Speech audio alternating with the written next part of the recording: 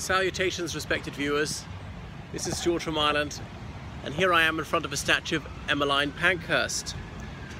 One of my uh, faithful uh, viewers asked me to make a video about Emmeline Pankhurst and there she is.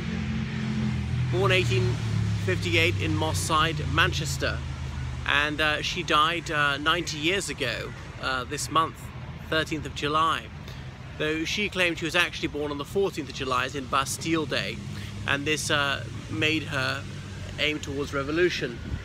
Um, anyway, this monument has got the symbol of the WSPU prisoners, Women's Social and Political Union with a um, portcullis, which is a symbol of the House of Parliament, and an arrow on it, as in they used to wear these if they were in prison on their uniform as Well, didn't ch choose to wear that was on the uniform. And then uh, here there's an image of her other her daughter, one of her daughters, Christabel, her eldest one, and her dates. So uh, anyway, Emmeline Pankhurst is best known for campaigning for votes for women. Um, and she was brought up in a politically active family. At the age of 14, she became um, aware of this campaign. So uh, women's suffrage was not entirely new in the United Kingdom. Um, medieval legislation had said the best men shall choose from amongst themselves two knights from each shire, two burghers from each borough, burgher meaning a leading citizen. But um, the, the, Latin word for men could be interpreted to mean people, and the right to vote was uh, uh, restricted to very wealthy property holders. Um, and therefore some women who owned substantial uh, landed property were allowed to vote in the Middle Ages. It was a microscopically small proportion of the population, but nevertheless it established the principle. Obviously most men couldn't vote, no more than 5%, and a tiny, tiny number of women. Uh, indeed, the House of Lords had major landowners there, who would be aristocrats, some of them would be bishops and archbishops, um, abbots because they ran monasteries and monasteries owned huge tracts of farmland, but also abbesses, as in a nun who uh, controlled an abbey and therefore a huge amount of farmland. So there were even women in medieval parliaments. Um, but by the late 16th century, women had been stripped of their right to vote. Um, in, in, the um, British Commonwealth um, of uh, the 1650s, some women wrote to Cromwell asking that they be allowed to vote and Parliament wrote back saying, meddle with your housewifery. Women had absolutely no business um, getting involved in politics. France in the 1790s briefly exper uh, experimented with female suffrage. Sweden in the mid-18th century allowed women who owned uh, a significant amount of real property to vote. Um, anyway, the 1832 Great Reform Act um, tightened up the situation and it restricted voting to male persons above a certain amount of wealth. So um, Emmeline Pankhurst, uh, she was a highly educated woman. She married Richard Pankhurst. Incidentally, her maiden name was Goulden, who was a barrister. They're both Liberal Party members. And um, he argued a case that women ought to be permitted to vote, and a judge found that a woman was personally incapable of doing so, even if she satisfied the other uh, criteria such as being over 21, being of sound mind, being a British subject, being resident in the same house for over, for over a year, owning or renting a sufficient value of property and so forth. As a female, she was disbarred by that criterion from voting. Um, anyway, uh, so she was also somewhat involved in the anti-slavery campaign. Um, uh, Emmeline Pankhurst had been banned throughout the British Empire, but to ban it in the rest of the world as well.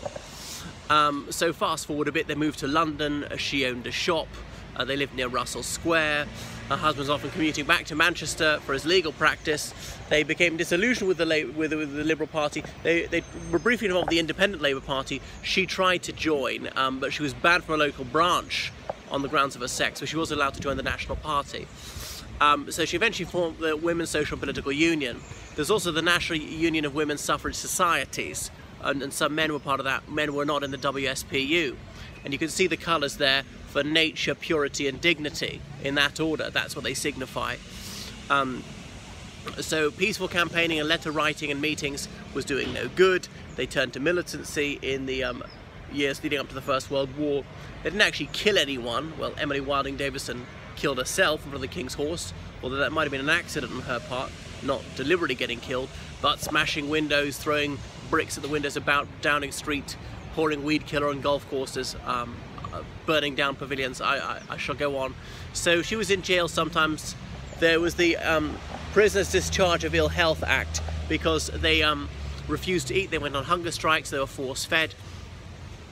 And uh, this generated some sympathy in the public. The government was worried about force feeding going wrong and accidentally killing one of the WSPU prisoners. So they let them out till they start eating, regain their health, and then rearrest them, send them back to prison the Cat and Mouse Act, as it became commonly known. It was later used against the IRA after the First World War.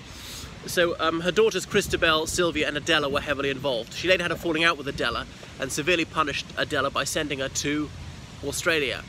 Um, anyway, the First World War came along and um, the WSPU suspended all their activities and they completely threw themselves into, into uh, pro-war activism. And the uh, WSPU's magazine women's dreadnought renamed itself Britannia and it became the most fervently nationalist publication and uh, she was always campaigning against people who were pro-German as she called them. They thought about women being allowed to volunteer to fight on the front line because in, in Russia this was allowed by 1917, the Women's Death Battalion. Um, she split with her daughter Sylvia, who was a socialist, uh, who thought the war was just um, about capitalist exploitation. Very uh, conveniently, she named her daughters in alphabetical order, the one with C before S, and the one with a C initial became a conservative, the one with the S initial became a socialist. Never mind Adela and uh, her son, who died young. There was another son who lived on, but he was not politically active. Um, anyway, because of her fervent patriotism, a lot of people withdrew their, their, their, opposition to what she was doing and found it less embarrassing. It wasn't such a come down. So um, Towards the end of the First World War, she was going to get what she wanted. But there was some disagreement about what concessions should be made. Should women be allowed to vote but not to stand for Parliament? Should it be women for only over a certain age, a certain education level, or owned a certain amount of property? And this is the worry about um, amongst some socialists, is that only bourgeois women will be granted the franchise, and that would simply help the Conservative Party to a lesser extent the Liberals. Anyway, April 1918, the Representation of the People Act, there have been several iterations of that, but the 1918 version granted the right to women to vote uh, for parliamentary elections if they were over 30, if they're on the local government register or married to a man who was. I should have pointed out that from the 1880s, women were allowed to vote in local elections for their local council, county council or city council, for the mayor. Women could be elected to the local council. They could even be mayor of their city. But they're not allowed to vote in parliamentary elections because they're saying, oh, well, local government's about the private sphere and national government's about the public sphere, uh, there isn't a clear distinction there. Uh, it's, it's, illogical, I know. But that was it. There'd even been a, a women's league for opposing female suffrage. Uh, so she got her way. And um, in 1918, uh, women were elected to Parliament. Well, Countess Markievicz was elected for an Irish constituency for Sinn Féin, but she never took a seat in Parliament, which stands just over there, because she refused to take an oath of allegiance to King George V behind the trees as Parliament.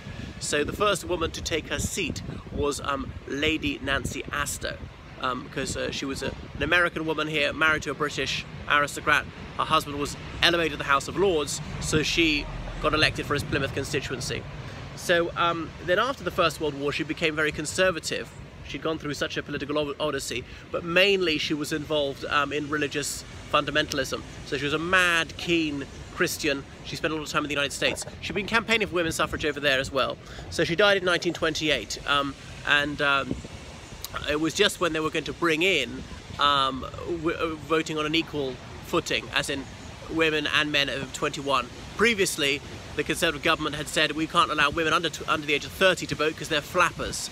Anyway, this memorial was erected only two years after she died, unveiled by Stanley Baldwin, the um, former Conservative Prime Minister, who had been at, one stage an inveterate opponent of women's suffrage.